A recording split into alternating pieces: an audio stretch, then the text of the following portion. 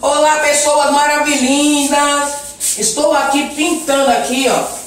Gente, esse cômodo é um cômodo que minha mãe me deu, estão vendo aí, ó. Minha casa só era dois cômodos, minha mãe me deu esse cômodinho e aqui eu vou fazer meu quarto, gente. Eu tô pintando, ó. Aqui é a parede onde minha mãe fechou da casa dela, que ela me deu o cômodo, gente. Porque minha casa só é dois cômodos e não tava dando pra, pra menina, né?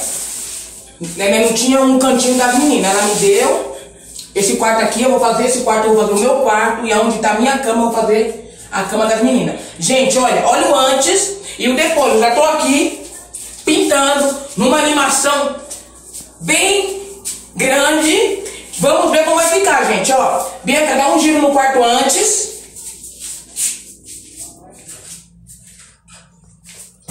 E depois eu vou mostrar pra vocês o depois, gente. Manda vibrações aí positivas, porque eu vou precisar.